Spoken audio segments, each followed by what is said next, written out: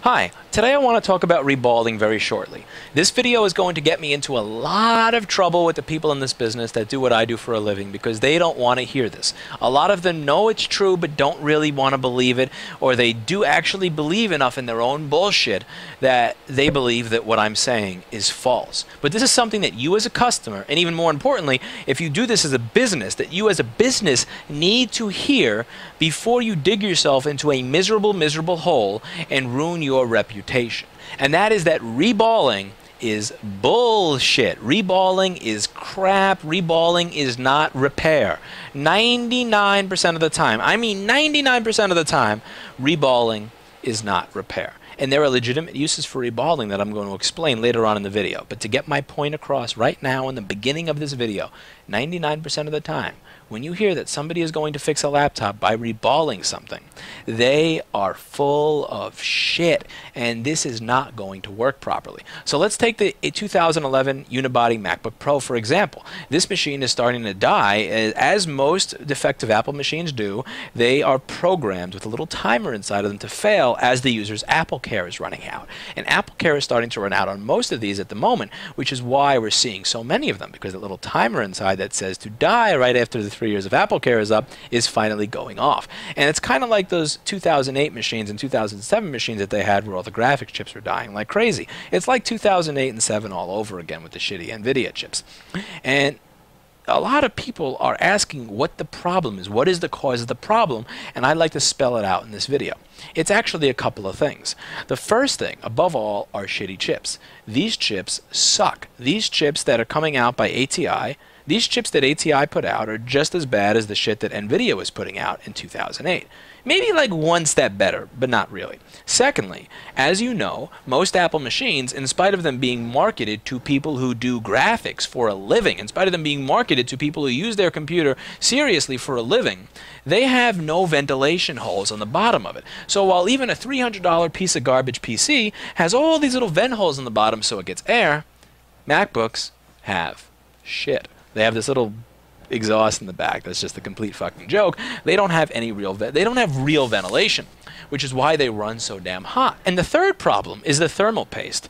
Uh, anybody who takes apart Apple machines on a regular basis is familiar with that like gray, gooky, gunky garbage that they call thermal paste. Again, you're paying $2,000 for the machine can you use something that doesn't work like shit? I mean, when you clean that stuff and replace it with something good, you'll see 3, 6, sometimes 12 or 15, 15 Celsius drop in temperature when you replace that garbage with something like Tuniq T- uh, TX4. But again, why spend the extra money on the $2,000 machine? Whatever. Apple needs to make money. Uh, anyway, regardless of what the actual issue is causing them to die, we have that issue now. You have a machine that's dead, and now you need to fix it. So, how are you going to fix it? You're going to see a lot of different options online. You're going to see a lot of different options all across the world for things that you can do to fix it. And I'm here to tell you that most of these options suck. A lot of them involve something called reballing. You've probably heard of reballing, reflowing, and you don't really know what these things mean because you're just somebody who wants to go back to editing videos so they can make money. So I'm going to try to sum it up and make it very, very simple for you. These chips connect to the board using little little balls of solder. It used to be that when you had a chip or a CPU that these things were so small and simple that you could just have legs shooting out the side of it and then all those little legs get soldered onto the board. And as time went on and devices got smaller and smaller and more complicated, you ran out of space to put these connections. So what they did is they decided instead of just using the outside of the chip, we can actually use the entire chip and put these little balls on. So now we can use the entire chip to have connections that go to the board. And all of these are in the form of little solder balls that go underneath the chip. So these are solder balls that are underneath the chip. And a lot of people uh, have been going on and on with this myth, this silly myth, that the problem with graphics chips failing is that the balls underneath the chip are the cause of the problem. And I want to go into why people believe that to be true, why people continue to believe that it is true in spite of evidence that it is not true, and what the real solution is. People believe it to be true because when they replace the balls, the chip works again. So, in order to actually remove uh, the balls from the chip and put new ones on, you have to lift the chip off the board. Soldering requires very, very high temperatures. So, let's say I have this machine over here. I'm going to lift this chip at something like 217 Celsius and I'm going to put it back on with leaded solder balls at something like 180 Celsius. Now, that's going to apply a lot of heat to the chip. And I'm not actually fixing the chip by replacing the balls, but the thing is to replace these solder balls, I have to heat the chip. And the process of heating the chip is actually what's fixing it. I'm fixing this chip by heating it, not by replacing the solder balls. So the problem in this chip, the real true problem, is not the solder balls. The solder balls are fine, and I'm going to go on to tell you how you can see that for yourself. The problem is the actual chip. So here, you see this little silver part in the top of the chip? Let's see if the camera will eventually focus on me. See if the camera will focus on my chip. Come on, autofocus. I saw you do it before. Alright, so see this silver thing up here? That is connecting to the green thing over here through little bumps inside the chip. And then this green thing attaches to the board through solder balls. Now the problem is that the actual bumps inside of this chip are completely destroyed. They're sodomized. They're, they're beat to shit over long, long periods of time of being heated incredibly within systems with poor ventilation. And again, also, a lot of these chips, they frankly just suck. So when you have this combination, those of those so when you have those bumps get messed up, you can actually fix them through heating the chip. So when you heat this chip to 200 Celsius, you're actually moving around and messing with those little bumps inside the chip itself, and that fixes the chip. The problem is that the chip itself is dead. The chip itself is failing. The, the, the entire wafer, everything inside of here, everything how, how this is set up is just completely falling apart and going to shit. And you've just happened to move some of this around by heating it. It's kind of like using a piece of wood to hold up a broken wall, and then when the wall moves a little bit, you just kick the piece of wood, and it just so happens to move back into place and keep the wall from falling on you. But the problem is the next time that the wind blows, it's going to blow your wall back down again. You haven't actually fixed the problem. You haven't fixed and put a proper wall up with a, and you haven't done proper construction. You're just holding it up with a piece of wood. And the same is true when you heat up a dead chip. So the reason people believe that reballing works, the reason they believe the myth that the solder balls are the problem is because when they do this process and they do this reballing, it actually works again. The way to prove this myth wrong, the greatest way to prove this myth wrong, is to actually measure the temperature while you're heating the chip and stop heating it at around 120 to 140 Celsius. Now, the solder balls that are used to connect this to a laptop motherboard nowadays are lead-free solder balls. Lead-free solder balls have different melting temperatures depending on the exact alloy used, but on average, lead-free solder balls melt at 217 Celsius. I'm telling you to heat the chip up to 120 Celsius. That's almost 100 Celsius less than what you need to actually melt the balls.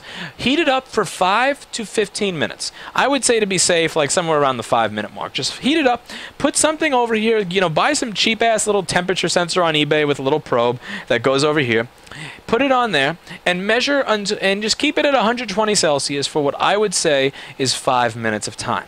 And what you're going to see a lot of the times is that the 120, 150 Celsius mark for five minutes, the chip itself is going to work. Now, if the solder balls with a problem, that would not have fixed the issue because the solder balls don't melt until 217. But the reason you fix the issue at 150 is because the issue is not with the solder balls, it's inside the chip. But nobody wants to believe that. And the thing is, when you reball this chip, you again, you have to use a machine like that at 217 Celsius to remove it. And then to put it back on with leaded balls, you need to use 180 Celsius, which is more than enough to heat up the inside of the chip to fix your problem. Now, uh, let me go into why people like to think that reballing is a repair for the issue. Again, as I said, they are going to heat the chip up and it's going to work again. They're going to reball it and it's going to work again because they heated up the inside of the chip. So now they believe it works. Let's go into why people like to think it works, even though it actually doesn't. Let's, people like to believe something if they have a reason to. If you have a reason to believe that something is true, you may believe it even if everything else uh, points otherwise. For example, I was recently in Las Vegas on vacation. We went to this restaurant called Dick's Last Resort. Now, in the front of Dick's Last Resort, two beautiful, I mean just model class women walked up to me and begged me to take a picture with them.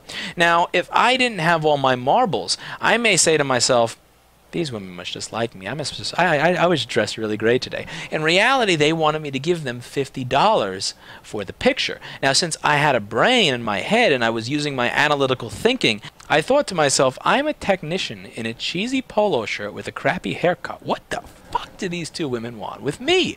And I said, you know, nah, I'd rather not take a picture. And I continued moving on to my table. Again, had I believed this shit, I might have actually had been inclined to pay them for a picture, but I didn't pay them for a picture because I used my brain. As much as I may want it to be true that two beautiful model class women want to spend time with me, I think to myself, why did these two beautiful half naked women walk up to me and just start talking to me out of nowhere? And the reason is because they wanted $50. You know, a lot of the times if you want something to be true, you will will believe that you'll make it true. You'll believe it to be true even when it's not. And there are reasons as to why people want this to be true.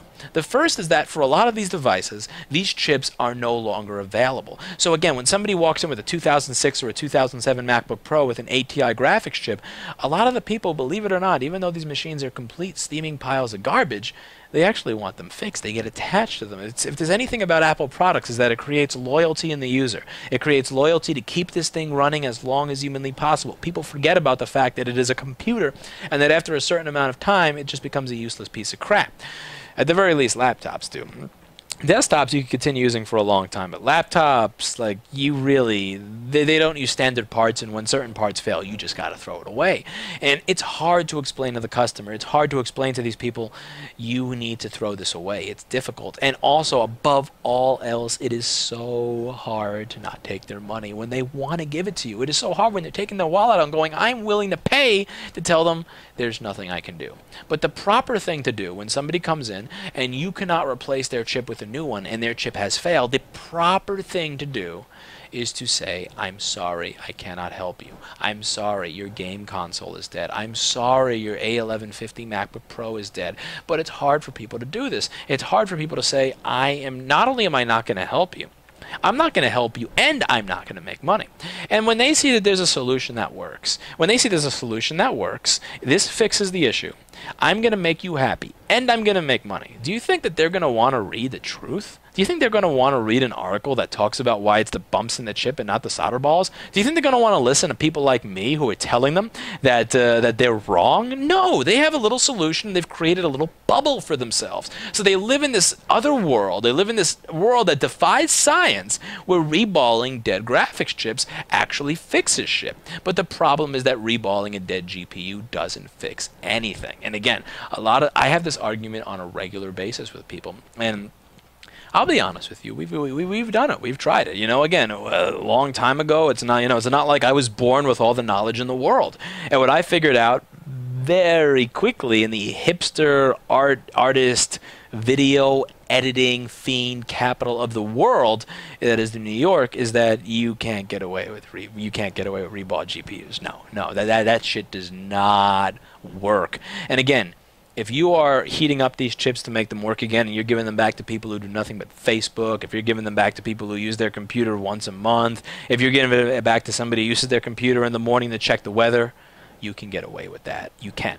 But video editing capital of the world. I would say that New York City is one of the Mac capitals of the world. There are more people here using Macs for creative purposes than in almost every other area of the world combined. I mean, you just walk down the street and you see nothing but Apple stuff. There are a lot of studios here that use nothing but Apple. There are a lot of creative professionals that come to New York to make a living, and all of these people use nothing but Apple. And if you are going to try to reball graphics If you're going to try to do this shit and give it back to them, they are going to revolt against you. And again, if and a lot of the people who are saying I reball and it works just fine, I looked them up. They have one review on Yelp for the five years they've been in business. Their business address is their mother's basement, and they're in the middle of like Kansas or Iowa. And no offense to Kansas or Iowa, but again, do you have as many creative professionals in these regions that that are as densely populated as New York? No. So you probably, and again, I'm not trying to sit on some high horse,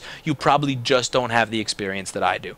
Being in this area and doing what I do in this area gives me a level of experience that a lot of people who are even smarter than me, who know more than me, don't have dealing with these particular products because you probably don't have the volume of creative professionals coming to you with these problems.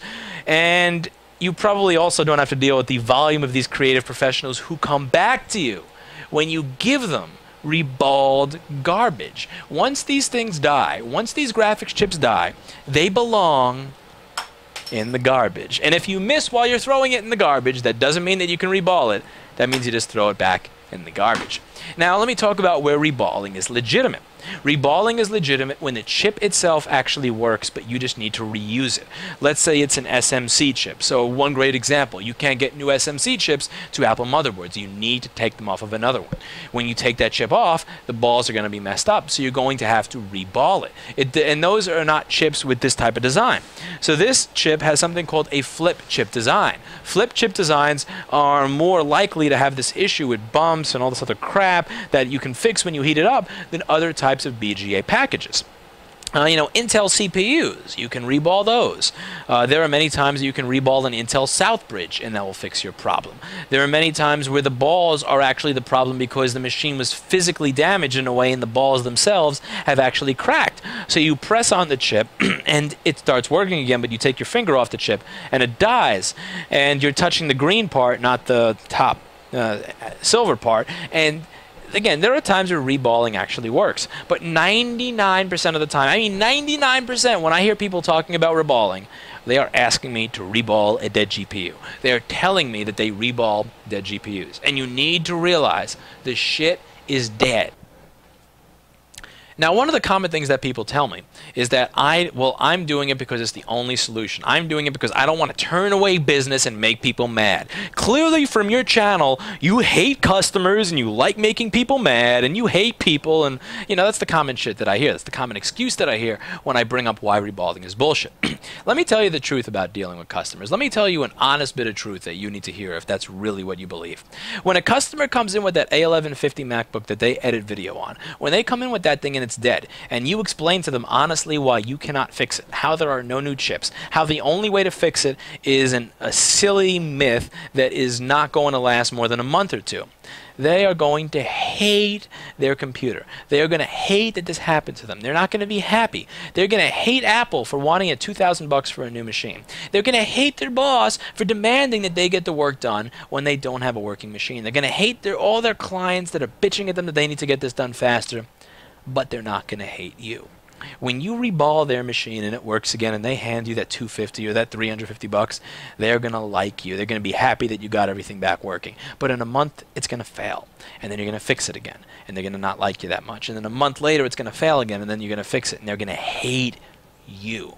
So if you tell them up front, I cannot fix this, here's why. They're going to hate everybody else in the world but that anger is going to be directed everywhere else. But when you decide to fix it because you are weak willed and weak minded and are looking for the quick money up front and are looking to make somebody happy up front without thinking about what's going to happen down the road, they are going to hate you. I am in business to keep people happy long term. I don't care if they hate me right now. I don't care if they hate me one day from now. What I want is for them to make the right decision for themselves, even if they really hate me as a result of doing it. I don't want to do something where they're going to love me right now, but two months from now, in the middle of a very important set, their shit just dies. I'd rather they hate me. I'd rather they hate me and say, fuck that computer guy, he didn't fix my shit. Fuck him, I'm giving him a one star Yelp review. Fuck him, he's an asshole. I would rather all of that crap and then all and they get something that works for them than for me to do what they ask me to do and then have that thing die on them one month into a set.